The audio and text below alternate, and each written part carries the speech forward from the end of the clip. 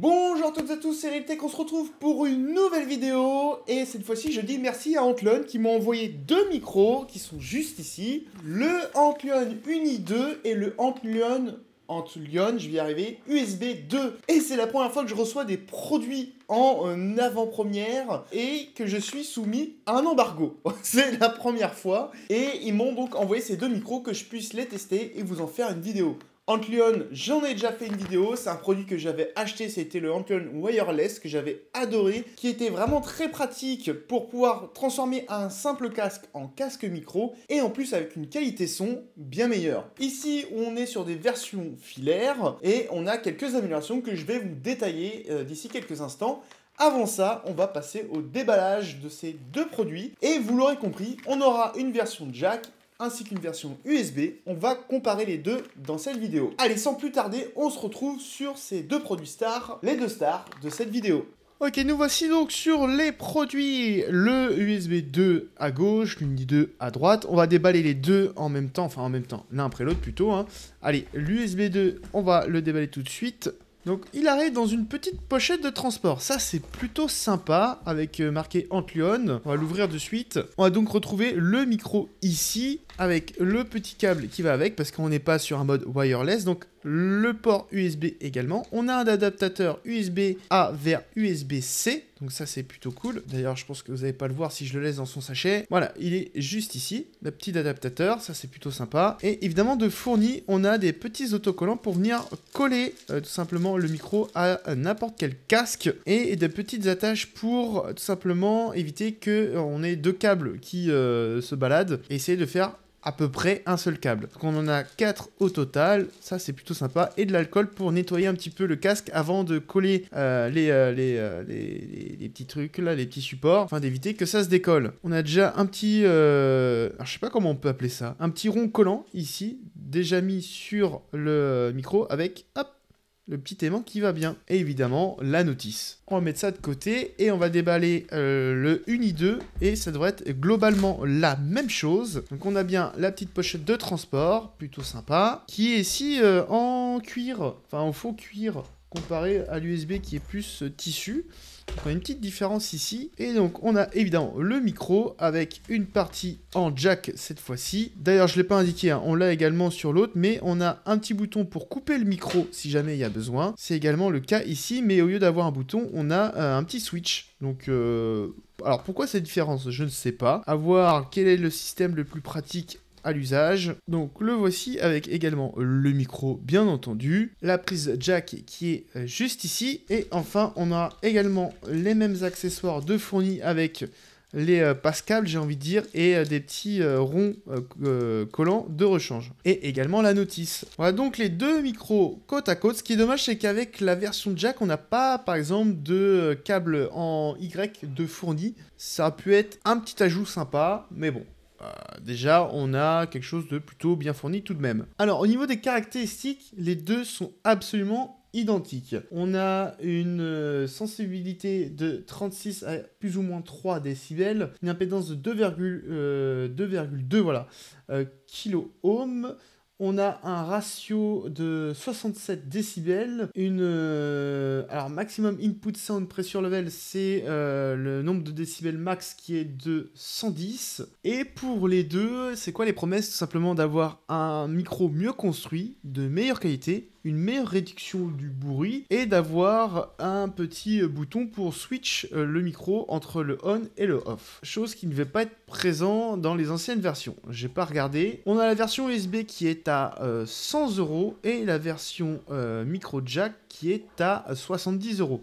Pourquoi cette différence de 30 euros? J'avoue ne pas savoir, sachant que le micro jack sera compatible avec plus de choses, que euh, l'USB qui est seulement compatible avec les PC et euh, en termes de console ça va être les PlayStation. Donc ça c'est un petit peu dommage. Pourquoi cette différence? Je ne sais pas. De ce que j'ai cru voir, la capsule est un petit peu plus grosse sur ces euh, deux modèles par rapport aux précédents. Et on est sur un micro omnidirectionnel, semble-t-il, sur les deux micros. La longueur du câble, d'ailleurs, câble gainé sur les deux, qui est un petit peu plus épais sur la version USB que sur la version jack. Donc là, on a sensiblement un câble qui sera un petit peu plus résistant dans le temps que euh, celui en jack, mais les deux font 2 mètres. Ce qu'on va faire maintenant, c'est qu'on va se retrouver euh, face cam et on va tester ces deux micros, voir s'il y en a un qui s'en sort mieux que l'autre et ce que ça donne par rapport à un micro sur pied. Ok, maintenant je suis avec le micro Antlion, c'est le... Euh... j'ai perdu le nom. C'est l'Uni 2, voilà, la version jack que j'ai branchée avec le convertisseur jack vers XLR euh, de chez Rode qui m'avait gentiment envoyé. Et euh, pour vous montrer, voilà. Normalement, vous avez dû entendre, hein, j'ai le micro euh, sur pied ici, du moins XLR, le micro classique. Normalement, vous n'entendez rien. Alors, plusieurs choses à tester. Déjà, c'est voir si effectivement ça marche bien au niveau Si je remets euh, le petit euh, switch vers le micro, normalement vous m'entendez de nouveau. Ce qu'on va tester également, c'est l'isolation des bruits. Alors ce que je vais faire, c'est que dans un premier temps, je vais taper sur le clavier.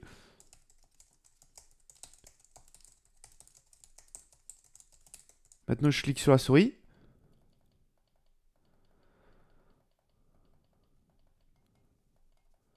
De ce que je vois au niveau des ondes, au niveau du clavier, il semblerait qu'on l'entend plutôt bien.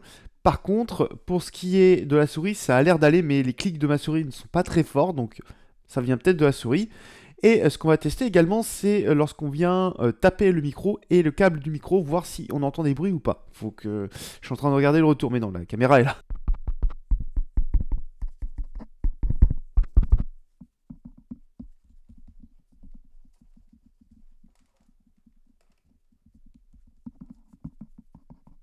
Ok, bien évidemment, lorsqu'on vient taper sur le micro, ça s'entend énormément, donc forcément éviter de taper sur le micro. Et par contre, lorsqu'on tape sur le câble, plus c'est proche du micro, plus on entend, mais ça va encore. Ce que je vous conseille, c'est de bien accrocher le câble du micro au câble du casque si vous en avez un pour éviter d'avoir deux câbles qui pendent et qui euh, s'entrechoquent. Il y en a de fournis avec le micro, donc tant mieux. Évidemment, euh, là, le gain, je peux le régler via euh, la petite table de mixage que j'ai, qui est la Fifine SC3 que j'ai testé déjà en vidéo. N'hésitez pas à aller voir la vidéo d'ailleurs. Mais voilà, si je viens baisser le son, d'ailleurs j'aurais peut-être dû le baisser, ça se trouve ça a saturé, c'est peut-être mieux là. Bon, je vais le remettre à son niveau où il était, mais euh, ce que je vais faire, c'est que je vais réécouter, voir si ça sature pas trop, sinon je vais devoir tout recommencer, et ça me ferait bien. Ok, c'est parti pour le Antlion USB 2 que j'ai ici. On va faire exactement les mêmes tests que sur le Uni 2. La différence, c'est que nous sommes en USB et plus en jack, donc là il est directement branché sur mon Mac Studio. Allez, rapidement, on va tester l'isolation du bruit. Donc, pareil que tout à l'heure, je vais taper sur le clavier.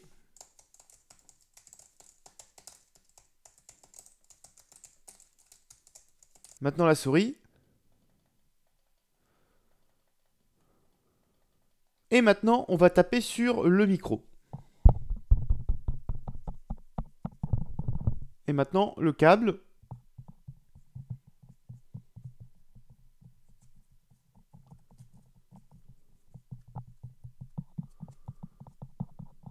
Comme tout à l'heure, on va tester la fonction mute qui est juste ici. Donc là, c'est plus un switch, c'est juste un bouton. Donc normalement, si j'appuie dessus,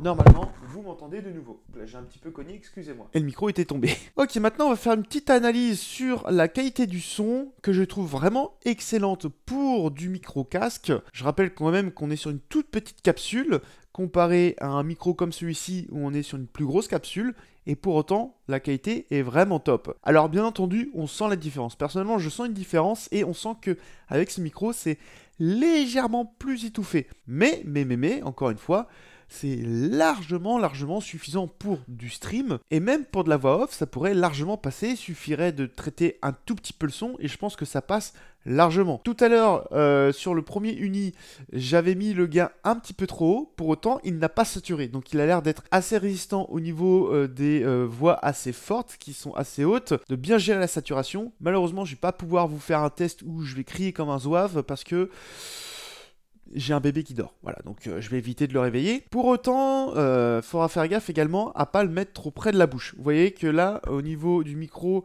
et entre la bouche, j'ai quasiment un doigt euh, d'écart. Et il faudra pas le mettre plus, plus, plus proche parce que pour avoir testé, et je vais vous montrer, hein, si on le rapproche trop, Là par contre ça va saturer, il aime pas trop la proximité. Je vais arrêter tout de suite parce que je vois que les ondes sont en train de s'affoler, je vais vous casser les oreilles, mais voilà. Ne pas trop approcher le micro, faire attention, le laisser à une bonne distance et vous pouvez voir qu'au niveau de la qualité son, ça le fait euh, largement. Les deux ont les mêmes problèmes au niveau euh, de euh, l'isolation du son. on entend vachement bien le clavier. Après, c'est un micro qui est omnidirectionnel. Hein. c'est pas du cardioïde, donc c'est à peu près normal. Normalement, même si je claque des doigts ici, vous devriez bien entendre. Ça apporte un point positif et un point négatif. Donc le point négatif, vous l'avez compris, c'est que bah au niveau de l'isolation du son, c'est pas ouf, mais par contre, ça fait que vous pouvez le mettre du côté gauche ou du côté droit, ce sera exactement la même qualité et ça vous permet de choisir le côté que vous voulez choisir.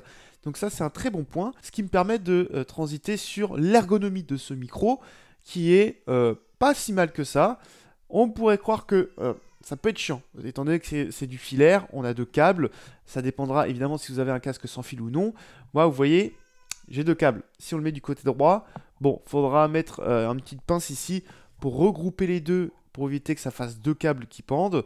Ça, c'est pas mal qu'ils aient fourni ça. Si vous avez un casque sans fil, bah vous n'aurez qu'un seul fil, comme si vous aviez un casque filaire. Si vous voulez du sans fil total, que ce soit le casque ou le micro, faudra attendre la version wireless ou acheter la version actuelle qui est toujours en vente. Chose intéressante, c'est que si jamais vous voulez mute et que vous voulez enlever le micro de votre bouche, eh ben vous pouvez parce que du coup vous appuyez sur le bouton et le micro, grâce au petit crantage qu'il y a sur l'aimant, vous le redressez là et du coup bah, il est en haut. Fait qu'il n'est plus devant votre bouche, ça peut éviter de taper dedans et de venir le faire tomber. C'est toujours ça de prix. Au niveau du câble, alors comme je l'ai mentionné je crois en tout début, hein, le câble de l'USB est plus épais que celui du jack. Je ne sais pas pourquoi. C'est un petit peu dommage parce que du coup ça rend le câble jack un petit peu plus fragile. Est-ce que c'est dû à la différence de prix je ne sais pas. Après, je suis désolé, je vais pas pouvoir vous faire une comparaison entre la première version et cette deuxième version parce que les premières versions, je les ai pas testées, donc euh, je vais pas pouvoir vous faire de différence. Contrairement au Wireless 2 que je devrais normalement recevoir, encore merci Amplion. Là, je vais pouvoir vous faire une comparaison entre les deux, mais là, c'est pas possible. Il reste maintenant deux questions à élucider. C'est déjà quelle version choisir et est-ce que ça vaut son prix? Alors, choisir soit la version USB, soit la version jack. Et pourquoi? Sachant que la version jack est quand même un peu moins chère que la version USB, il y a quand même 30 euros de différence. La version jack euh, sera peut-être un petit peu plus compliquée à régler et euh, ce sera un petit peu plus compliqué d'avoir une aussi bonne qualité son parce que ça dépendra de votre carte son à laquelle vous branchez. Évidemment, si vous branchez ça sur la carte son intégrée d'une carte mère bas de gamme d'un PC, ça va pas rendre forcément terrible. Là où si vous branchez à une carte son dédiée comme la Fifine SC3 qui sont d'assez bonne qualité, vous aurez un son bien meilleur. Donc il y aura ce matériel-là à prendre en compte, c'est très important. Ça peut augmenter le prix si jamais vous n'avez pas une carte son adéquate. Par contre, la compatibilité sera meilleure. Ce sera compatible euh, PC, Xbox, PlayStation, Switch, macOS, tout ce qui est euh, téléphone avec des jacks ou euh, si jamais vous mettez un convertisseur USB-C vers jack, ce sera compatible également. Donc voilà, c'est compatible avec énormément de choses. La version USB est 100 euros plus chère. Euh, malgré tout, c'est compatible avec beaucoup moins de choses. Alors, on aura toujours la compatibilité PC, Mac, on aura une compatibilité avec PlayStation. Par contre, Xbox, vous oubliez. La Switch, ça va être compliqué également. Je suis pas sûr que ça soit compatible. Et évidemment, tout ce qui ne possède pas de prise USB, que ça soit USB-C ou USB-A, bah, ça va être euh, impossible à connecter ce micro. L'avantage par contre c'est que la carte son est intégrée directement sur le micro, enfin dans le micro, donc vous n'avez aucun réglage à faire à part le gain et euh, tout le traitement est fait via le micro directement. Donc vous n'êtes pas dépendant d'une carte son et ça peut effectivement vous éviter d'acheter une carte son. Donc là, tout dépend de ce que vous avez déjà en votre possession et ce dont vous avez besoin. Maintenant, le prix, comme je vous ai dit, 70 euros pour la version jack, 100 euros pour la version USB, est-ce que ça vaut son prix? On est quand même sur des produits qui sont assez spécifiques. Ce sont des micros qui sont faits pour se brancher à des casques, mais on peut ne pas les brancher à des casques, on peut les brancher à autre chose, juste des, supports pour mettre sur la tête, etc. Si jamais vous avez besoin de petits micros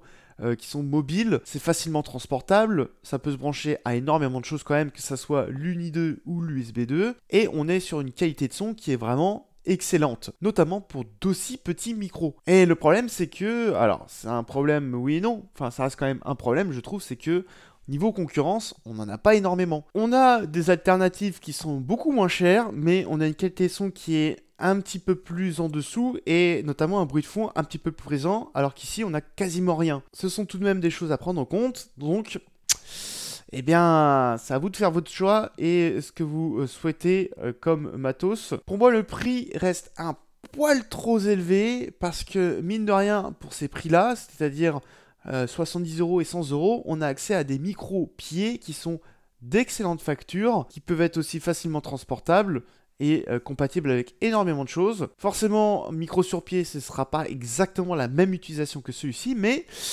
eh bien, on peut se poser la question quand même. On aura peut-être accès également à des micros sans fil euh, type pour appareil photo qui seront utilisables également. Il y a également des micro-cravates qui pourraient faire l'affaire suivant les situations. Bref, c'est vraiment à réfléchir parce que pour le prix, faut être sûr d'avoir l'utilité de ce micro et d'avoir effectivement la situation idéale qui correspondrait à l'utilisation de ce micro. Ce qu'il faudra voir également, c'est si on n'a pas directement des micro-casques à ces prix-là, qui sont d'excellentes factures et qui ne nécessitent pas d'avoir euh, l'achat d'un micro comme celui-ci, sauf si vraiment vous voulez un casque audiophile qui sera forcément dépourvu de micro et qu'il faudra rajouter un micro à côté. Personnellement, j'aurais bien vu une dizaine d'euros moins cher. Malgré tout, ça reste d'excellents produits, notamment dans leur euh, catégorie. Qualité son, ergonomie, construction, on est sur quelque chose de très bon, sauf le petit bémol pour l'Uni 2 qui a un câble beaucoup moins costaud, et ça, encore une fois, je ne comprends pas pourquoi. Voilà, ce sera tout pour cette vidéo. J'espère que ça vous aura plu. J'ai volontairement gardé ce micro pour que vous puissiez profiter au mieux de la qualité son de ce micro, que vous puissiez vous faire un avis sur